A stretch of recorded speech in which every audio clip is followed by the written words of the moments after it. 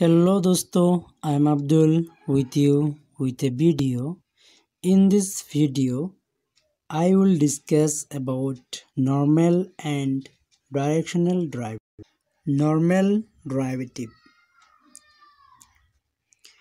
If phi of x comma y comma z equal to c represents a family of surface for different value of the constant c. On differentiating phi, we get d phi equal to 0. But d phi equal to del phi dot dr vector. So, del phi dot dr vector equal to 0 the scalar product of two vectors del phi and dr vector being 0 del phi and dr vector perpendicular to each other. Dr vector is in direction of tangent to the given surface.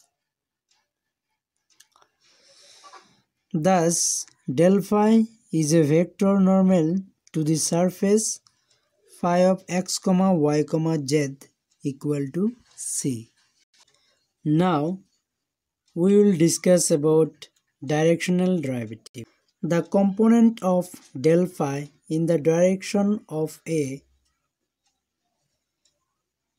vector d is equal to the del phi dot d cap and is called directional derivative of phi in the direction of d cap. So del phi by del r equal to limit del r tends to 0 del phi by del r where del r equal to pq. Del phi by dr is called the directional derivative of phi at p in the directional of PQ. Let a unit vector along PQ be n dash cap del n by del r equal to cos theta which implies del r equal to del n by cos theta equal to del n by n cap dot n dash cap.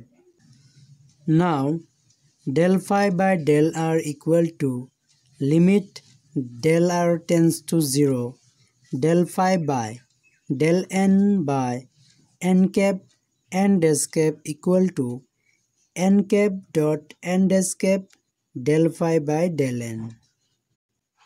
From 1 del r equal to del n by n cap dot n dash cap which is equal to n dash dot n cap modulus of del phi equal to n dash dot del phi